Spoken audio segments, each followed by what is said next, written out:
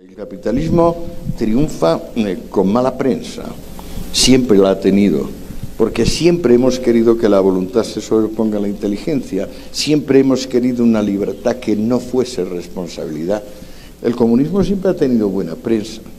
Ahora que estoy en pleno volumen 3 he descubierto que Rusia, eh, cuando pasó de Rusia a ser la URSS, perdió en la guerra civil un millón y medio de personas.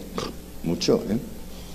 Sin embargo, perdió en los primeros cinco años de égida de Lenin, de hambre y de frío, casi 30.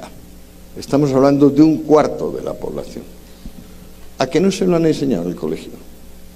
¿Por qué? ¿Por qué no sabemos esas cosas? ¿Por qué no sabemos, por ejemplo, que todos los jefes de fila del comunismo fueron señoritos, hijos de papá, que vivieron de sablazos y de lo que les daba su familia?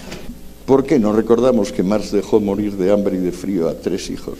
¿No sabían ustedes que Lenin vivió 30 años de las remesas de su mamá? Ni un solo cabeza de fila igualitarista ha trabajado. Todos han creído que podían vivir de revolucionarios profesionales. Qué cosa curiosa. Pero ¿por qué no me lo han enseñado a mí esto, bachillerato? ¿Por qué? Mientras estudiaba Derecho y Filosofía no me lo han enseñado mis profesores. Cosa curiosa.